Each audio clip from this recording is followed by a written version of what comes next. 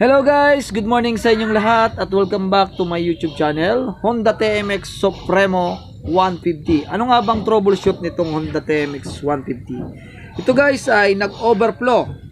Ang ginawa po ng may-ari ay pinalinis ang carburetor.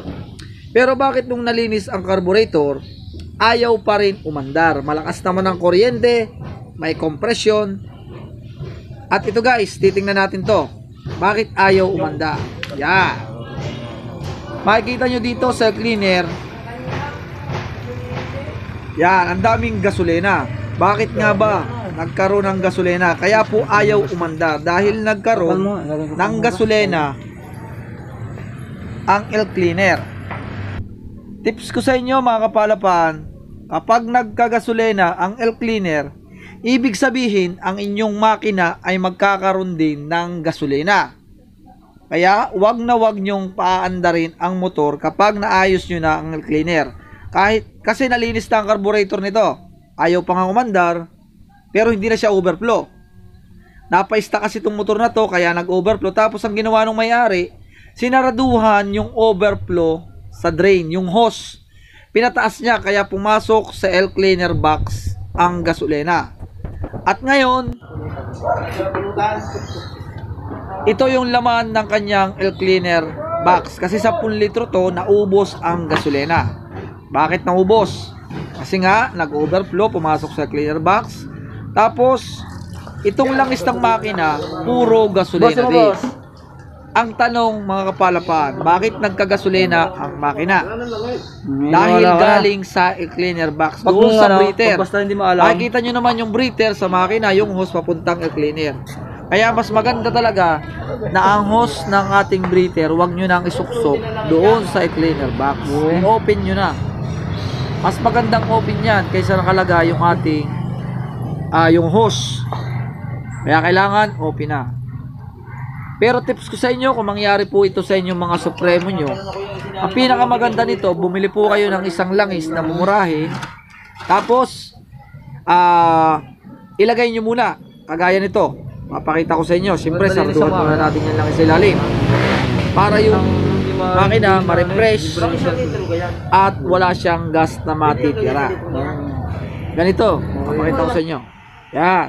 Nasaraduhan na yung ilalim, bibili tayo ng isang mumurahing langis para gumanda yung makina. Yan, sasalina natin ng isang litro.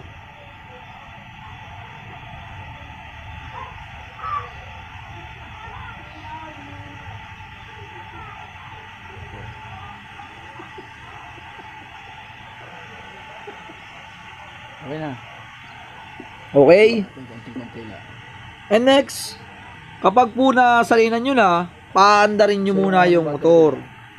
Pero wag nyo munang ire-rev ng malakas yung motor nyo. Minor lang po, minor. Para po makasalta yung langis.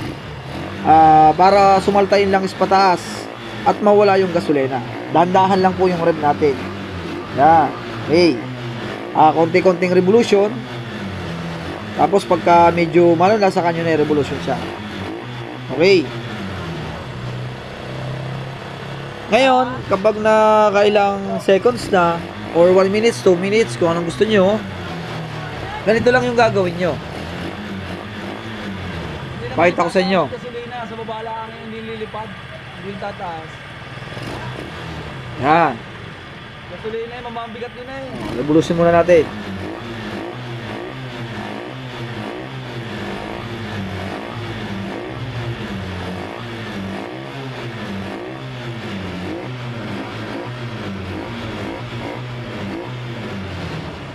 At yan, natapos na natin. Natapos na natin yung revolution. At natapos na rin natin lagyan ng langis. Ngayon, patayin na natin. I-drain na natin yung ating langis na petron. Pero hindi na natin gagamitin yon Yung i-drain natin, wala na yan. Disable na itong langis na to. Yan, kita nyo, umusok pa yung kanyang motor yung sa mga tambutso kasi gawa ng gasolina. Yan, i-drain natin. Gagawin na lang ni sir na panglinis ng kadena. Yan, nakita nyo. Hindi siya purong langis. May kasama pa rin siyang gasolina. Kaya kailangan i-drain nyo talaga yan. Okay.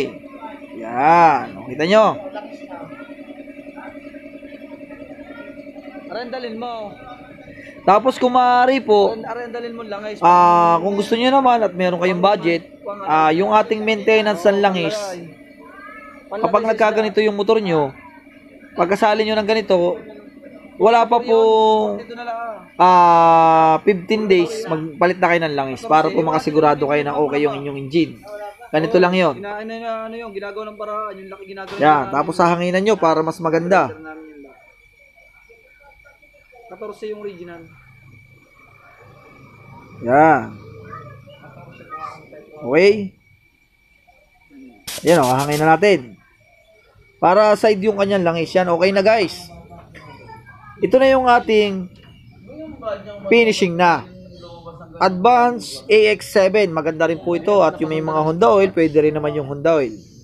Kahit sprakat at kadoy na lang. Yan. Shoutout nga pala kay paring Kevin Castillo. Ganito yung kanyang bagong motor, Honda Supremo 150. Ingatan mo, ah, Kuya Kevin. Pare, ingatan mo yung Supremo mo. Matibay naman ang Supremo natin.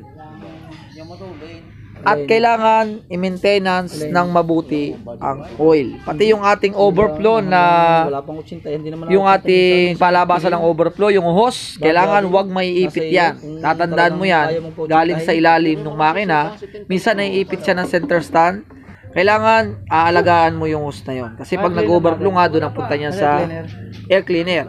At sa nga pala guys, ah kahit naubos yun na yung gasolina nung air cleaner box, Maganda nga. ito ating ah yan, Maganda lang yung air cleaner foam, Paltanan lang guys. Dalawang lang ang ginamit. Yan, papalitin nyo na yan. Kung maaari po yan ay replace yan. Nakalagay po doon sa ating according na replace it. Ah, do not clean. Kailangan po ay replace ng replace. Palit po ng palit. Kung gusto nyo naman at wala tayong budget, linisin nyo mabuti at patuyuin. Kaya tinanggal muna namin kasi ayaw umandar ng nakakabit yung air cleaner niya. Yan guys, sana may natutunan naman kayo dito sa Honda Supremo 150. Sana po yung walang mangyari sa inyong mga motor na ganito. Nagbigay lang po tayo ng idea para po sa inyong mga motor. At yan po yung may-ari, hindi makapaniwala. Kaya pala nawala yung kanyang gasolinang madami.